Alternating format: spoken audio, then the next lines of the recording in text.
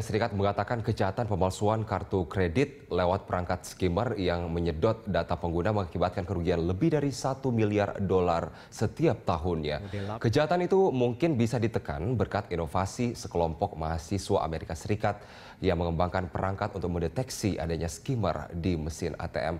Berikut laporan Helmi Yohanes dari VOA.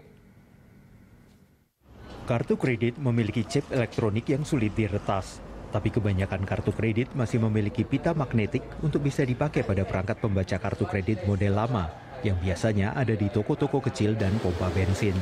Kartu dengan pita magnetik ini bisa menjadi sasaran pembobolan. Credit cards are read using something called a card reader or a read head. At any given time, only one read head should be present in a card slot. Penjahat bisa memasang pembaca palsu atau scammer di tempat gesekan.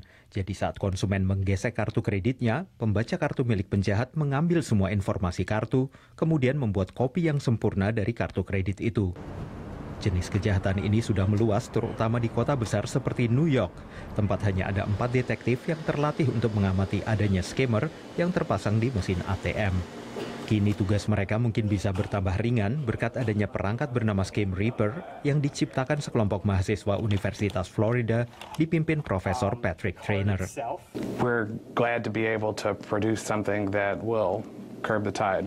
Alat ini terdiri atas kartu elektronik yang besarnya hampir dua kali lipat kartu kredit biasa, yang dipasang di kotak dengan tampilan digital. Saat dimasukkan di slot ATM, tampilan digital di alat ini langsung menunjukkan adanya pembaca kartu palsu atau scammer. Impressed with their technology and their wit on how to come up with this machine to detect skimming devices. Komponen untuk membuat detektor pembaca kartu kredit ini biayanya sekitar 50 dolar atau sekitar 700 ribu rupiah. Tapi investornya mengatakan mereka mencobanya untuk membuatnya agar menjadi lebih murah dan lebih kecil. Sehingga lebih mudah bagi para petugas penegak hukum yang tidak terlatih pun untuk bisa menggunakannya setiap hari.